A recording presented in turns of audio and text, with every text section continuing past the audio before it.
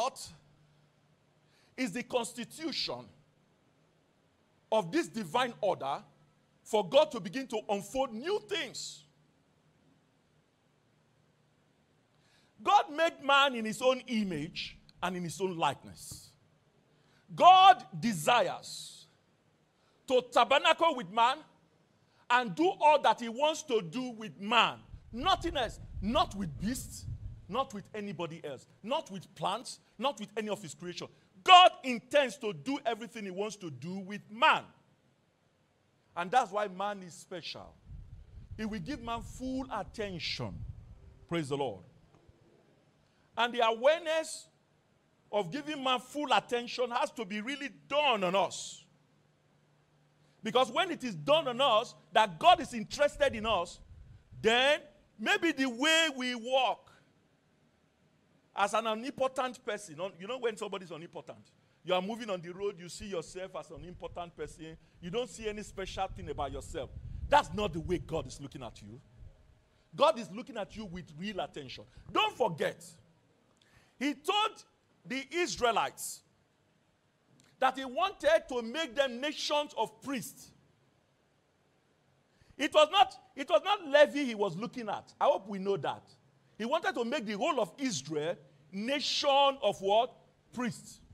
But when, there's a, when there was a violation of that order, Levi became the only tribe that was made the nation of priests. And still now, God still intends to make everyone, when I say everyone, means everyone a priest. Everyone that come to know him as a priest. This is divine order. And in divine order, we must bear burdens. Say burdens. The, the bearing of burdens is what qualifies us into the entry, each entry of the new thing. The bearing of burdens. And what burdens are we bearing? The burdens of the Lord. Praise the Lord. God has a burden. God has a burden. The burden of His word. A people must bear the burden of His word. A people must position themselves as ones who would accomplish His word. That's bearing the burden of His word. Burden is something that, the meaning of burden in simple language is that something you are concerned with. Some, if, you, if you have a trouble, maybe something happened to you, you say, I have this burden in my heart. Because you are bearing a burden that burden, as God is putting an attention on us, God expects us to bear his burden. Praise the Lord. The reason is because he's going somewhere. He's going somewhere with that burden. Without the bearing of the burden, there can be no entering into new domains. There can be no expansion. There can be no entry into a new horizon. And that is the duty for Christians. That is the duty for every one of us, where we find our place in bearing the burdens of the Lord. Hallelujah. You know, many things that had happened in the organized church system is that people initially, with so much zeal, they start bearing the burden of God. At some point, they start bearing their own uh, burden. They start bearing their own burden. I was uh, reading on the social media the other day. A man won a lottery of uh, a, they say a pastor in a church won a lottery of some, uh, some money, he quickly abandoned the, the pastoral service. He quickly abandoned the pastoral service and began to, he said, well, the reason why he went into the pastoral service is to, to make money. He started bearing his own body. He has told God, God, you're on your own with your own body. Let me go my way. That is maybe on an extreme case, but for us, there are little, little ways where we bear our own burden when God is positioning us for his burden. Everything that God has equipped us with, everything, when I say everything, everything that we have been equipped, even if it's a smiling face and a beautiful face, that we have been equipped with, is to bear God's burden. Hallelujah. You know, when you when you go for an interview, when you go for an interview, very pretty people, handsome people, bright smile and bright countenance are, is, are more easily to get a job than a very ugly person. Oh, you don't believe that? I'm telling you. I remember we were trying to uh, uh, employ a front desk officer, a receptionist, and uh, a lot of even there's somebody who came very, very intelligent, smart. But when you compare the face with another one, you say, ah, people feel wrong come out, they don't go come. Everything that we have been gifted with, everything, when I say everything, I mean everything, is for the glorification of God. Even if we have been gifted with ugly faces for the glorification of God. Hallelujah. This burden bearing is the estate of the priest. It has got to do with the tabernacle. It is the bearing of the ark upon the shoulders. Hallelujah. That's the burden. That's all that is required. That is the criteria for moving forward. That there are priests who have submitted their shoulders to bear burdens. And what burden are they bearing? The burden of the ark. The burden of God. Jesus said something in Matthew, and let's read it. Matthew 11, verse 28. We are talking about the things that will make God do new things, the things that will spur Him to do new things. When God finds a people who bears His burden, new things will not cease from their congregation. When God finds those people, new things will not cease. Hallelujah. He had men like Moses for new things to spring forth. He had men like Joshua who had people to bear their body. And in a generation, you don't have somebody who can take responsibility to bear his body. The people are stagnant for many years. Hallelujah. In Matthew 11, from verse 28, it says, Come unto me, all ye that labor are heavy laden, and I will give you rest. That's one statement. The next statement Take my yoke upon you. Normally, yokes are, on, are used in relation to beasts, beasts of burdens. That's why yoke are used. Yoke are not used for, yoke are used when they are talking about burdens, beast of burdens. He says, Take my yoke. That means God is saying, Tie yourself. Be ready to carry my load. Be ready to carry my weight. Take my yoke upon you and learn of me. For I am meek and lowly in heart, and ye shall find rest unto your soul. For my yoke is easy, and my burden is light. This, remember, we read the first scripture that says God says He's focusing His attention and He will give us what? Rest.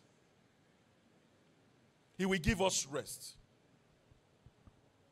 When the priest, so if there are sown burdens, there are burdens that we bear. God has already said, see, listen, listen, listen. Let's discuss together. Let's exchange, let's exchange burdens. That burden you are carrying, burdens of worry, burdens of trouble, burdens that have been infused by the enemy, all those kind of burdens. Let's exchange the burden. Take, take, take, take. Give me that burden. I'm going to handle it. Take my burden Take my burden, take my ministry, take my service as a priest, take my take my, my, my the things I want you to do in my house. Take my take my take my everything, my concerns, take it. When we begin to take it, there's a movement of the camp. When Israel, I'm, I, i am not opening scriptures every moment because I want us to be fast. Because later on, will tell me that my time is up. Praise the Lord. When the children of Israel were moving, the people bearing the ark, they are in the front. Isn't it? They are the one that breaks ground. When their feet came to Jordan River, immediately their feet came into Jordan. What happened to Jordan River? It separates. It separates because they are body bearers. And they are not only body bearers, they are bearing the burdens of the Lord. God will never forget us when we bear his burden. This is truth. Let the enemy not take it away from us. Whether burden of evangelism, whether burden of giving in the church, whether burdens of, of teaching children, whether burdens of even bringing your children up in the way of the Lord, every burden that is of the Lord, as we bear it, God will never forget us. Let this be inscribed in us and very deep. Even if you cannot do any other thing else, and you are bearing the burden of the Lord, God will make a way. God will make a way in the wilderness, abundant flow in the desert, and we shall, it shall spring forth. We shall know it, saith the Lord of hosts. God is the one that said it. He will begin to cause waters to spring forth out of, out of the deserts. Uncommon things will begin to happen to us. Very uncommon things. Sometimes we see some brethren, we say, ah, ah, God is always prospering this brother. Then you look at the brother, you say, there's nothing really, really so spectacular in his life that is different from my life. Go and check very well. Praise the Lord. There are burdens he's bearing. Some of us, when those burdens are placed on our shoulders, we almost break. But God will multiply us. God will prosper us as we bear his burdens. Hallelujah. Now, if we turn our Bibles to, so the appropriate place, the appropriate place to be situated in the domain to bear his body. You know, I spoke about domain. When, when we read Genesis chapter 1, the first few verses is expressive of domains. Light is a domain. I hope you know that. Light is a domain, it's a sphere. The earth is a sphere. There are domains in domain. The earth is a sphere, light is a sphere. All of these are sphere. Before, if you begin to read down into Genesis, you begin to talk about the contents of the domains. But first, if you must have dominion, you must have dominion in these realms of domains. In the realms of light, you must have dominion. Hallelujah. Because the angel also, uh, uh, Satan also exhibits himself as an angel of. Uh, so we must have dominion in that domain. When we have dominion in that domain, this is the evolving expression of the kingdom of God. Hallelujah. When God's people begin to have dominion in domains, they begin to bring the, the powers of God that be to bear upon situations, upon matters, and upon lives. Hallelujah. This, this place where people must stand at every time, this place where they must stand, must be in the holy place. Hallelujah. It must be in the holy place. That's why before the before the ark is borne upon the shoulders of men, they must be sanctified. Hallelujah. They must be sanctified. Let me read a scripture on that. Hallelujah. They must be sanctified. Means they must be separated. Before they can bear the ark, the priest that bear the ark must be separated. Hallelujah. Oh, glory, hallelujah.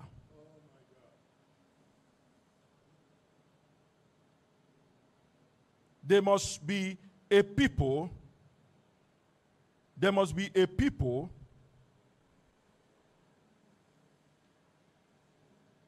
Hallelujah.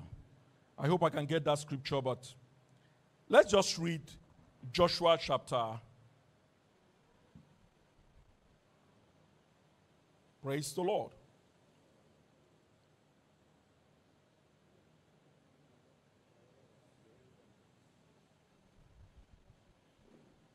Anyway, I can't get it, but we can get it. The priest must be sanctified, they must be separated, they must be prepared for the bearing of the ark. And the ark is borne upon where? Their shoulders. The ark is borne upon their shoulders with staffs. That staff, that staff, that staff, you cannot see that staff if you are not in the holy place. Hello. If the ark is keeping, you cannot see. What does that mean? What it means is that if you are not in the holy place, you cannot see the reason to bear burdens. And that's one of the prayer we're going to pray. That God will open our eyes in the holy place that we might see the staffs that bears the tabernacle. I mean, that bears the ark. Let's read the scripture. Hallelujah. Let's turn our Bibles to First King chapter 8, from verse 5 to 9. And I read.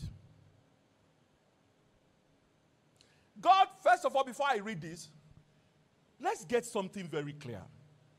And let it get imprinted in our spirits. All of this talk that we are talking about is that God will be with us at all times to be able to move forward, to be able to accomplish his cause, and to be able to accomplish his purpose. In, in, in, in 1 Kings chapter 8, from verse 5 to 9, it says, And King Solomon and all the congregation of Israel that were assembled unto him were with him before the ark, sacrificing sheep and oxen that could not be told nor numbered for multitude. And the priest brought in the ark of the covenant of the Lord unto his place, unto the oracle of the house, to the most holy place, even under the wings of the cherubims. For the cherubims spread forth their two wings over the place of the ark. And the cherubims covered the ark and the staffs thereof above. The staffs are very important. Then he went further. And they drew out the staffs, that the ends of the staffs were seen, the ends of the staff were seen, hallelujah, that the ends of the staff were seen out in the holy place before the oracle, and they were not seen without. Understand that. In the holy place, you'll be able to see the need for burden bearing. In the holy place, so if you are not in the holy place, if we are not in the holy place with the dedication, what is the dedication? What happens? What are the activities of the holy place? The activities of the holy place is that we are enduring God every day, desiring to see a new thing, by the trimming of the candle lights, participating in the place of worship, and beginning to chew from the, begin to partake of the, of the bread of his presence. Hallelujah. That's the holy place. Those are the activities of the holy place. We partake of the bread of his presence. That is, we are communing with God. It's not in a backsliding life. It's not in a backsliding. It's not in a life that does not have a conscience towards God. He's not in a life that treats God's matters carelessly. He's not in a life that treats God's matters secondary. But it is in a, in a people who have desired, as God has placed an attention upon them, full attention, they also are committed to God. Hallelujah. That's the holy place. And that's why in Revelation chapter 11, he says, Don't mention, don't measure the courts. Don't measure the. It's inconsequential. In the matters of bearing the body, don't forget, in the matters of bearing the burden of God, we must see the staffs. We must see the staffs. And the staffs cannot be. Before you bear the body, won't you carry the staffs?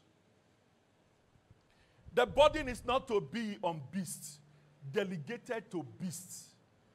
Delegated, the burden is not to be on inconsequential matters. For when the burdens are placed on top of beasts, there are casualties. Hallelujah. The burdens are not, it's, it's, it's outside due order to put the burdens, the ark on the beasts. No matter how beautiful the cat may look, no matter how spectacular. So must, it must be on the shoulders of men that are created in the image of God, not on beasts. Praise the Lord. So if somebody is in the outer court, today the person lives in sin, Tomorrow he rises up. Next tomorrow, uh, the person is a trickster. Uh, the person is uh, a GPT. What do they call G- GPT? Man, and all manner of things. You, you cannot see. You cannot see the stars. No matter how tall you are. Because the body, the body is in the resting place in the holiest of all. So the flashes, the flashes of the stars that we see the flashes of the stars that we see brings us and progresses us into the holiest of all. That's what progresses us there. So when the high priest comes into, when the high priest immediately comes into the into the holy place and he's standing, he sees the staff. And don't forget, it's only priests that come in this domain. He sees the staff. May we be a people who sees the staffs at all times. Praise the Lord. Let's turn our Bibles to Revelation 21 and read this scripture for the purposes of reinforcing what we have said.